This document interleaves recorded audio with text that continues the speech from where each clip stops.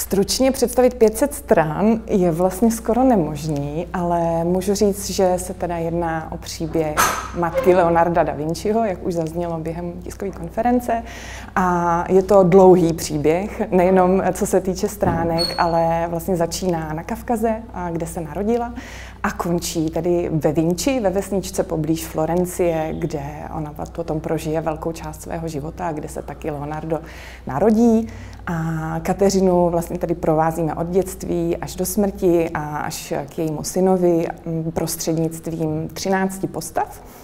A přičemž všechny ty postavy, které jsou, podle nich se jmenují ty kapitoly, jsou postavy, které skutečně žily, existovaly, psali a díky tomu, že zanechali po sobě ty psané památky, které autor našel v archivech, my můžeme ten příběh dneska nějakým způsobem rekonstruovat.